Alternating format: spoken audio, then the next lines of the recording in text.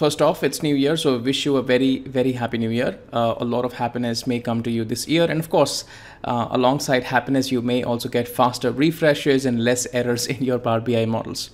Now, starting our journey with Power Query this year, I have to talk about records. Just a few weeks ago, I talked about lists. People like the idea of understanding lists right from scratch and I draw up a few applications of lists as well. In this video, I'm going to talk about records and how records are super helpful in carrying out some sophisticated operations in Power BI. Power Query. All right, you and I, records, let's start.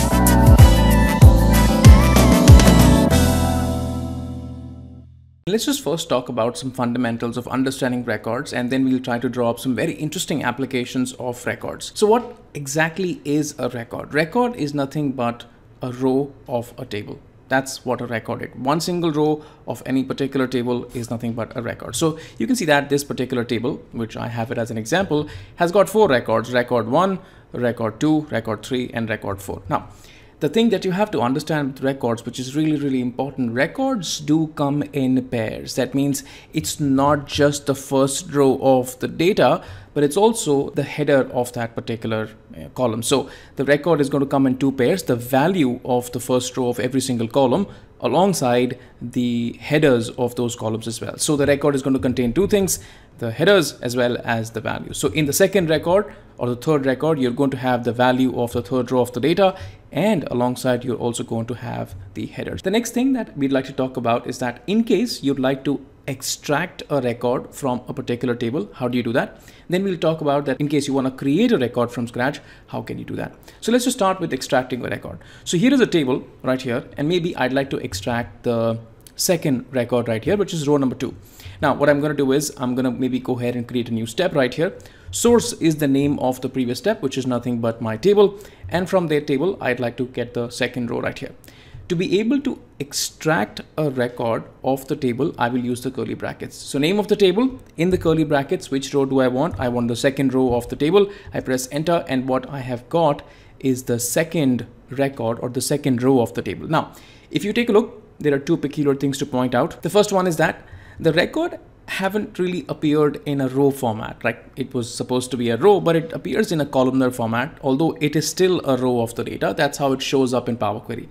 That's one thing to understand. The second thing that I also talked about earlier was that record is going to have two parts. It's going to have the values, which is Tommy, Jan, Feb, March, and April. And of course the headers right here. So it comes in pairs of two. All right, now that we have understood that how do you extract a record, so you have the name of the table, and if you just mention the row that you would like to extract, you can extract the record of the table. Now, let's just say that in case you want to create a record from scratch, how do you do that? So I'm going to maybe not really write the uh, table name and the row number here, but I'm going to start to create a record in order for us to create a record, what you would need is initiate the record in a square bracket. And that's what we're going to use.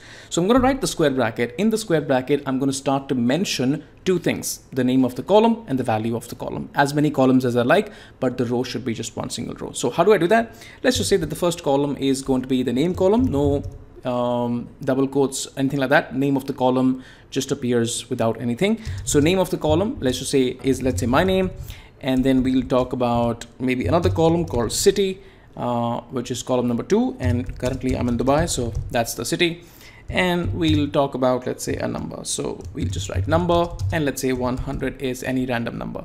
Now this is one row of data with three different columns and the three values underneath. If I now commit to this, you're going to see that we have been able to create a record and that's as easy as that. Now with that understanding built, let's just talk about some very interesting applications of those records.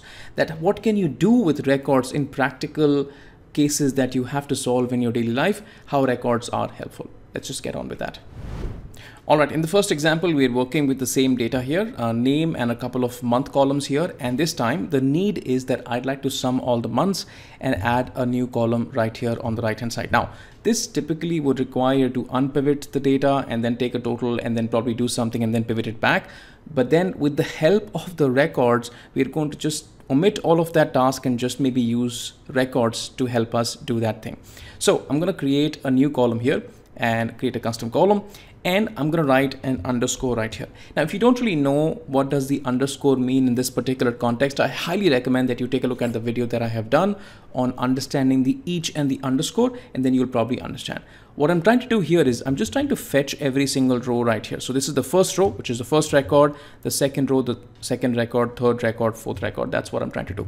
Now, as soon as I commit to this particular uh, function that I'm writing, click on OK, I'm going to get a record. If I peek into that record, I'm going to see all the values of the columns. So I have, of course, the names of the columns and I have the values of those columns as well.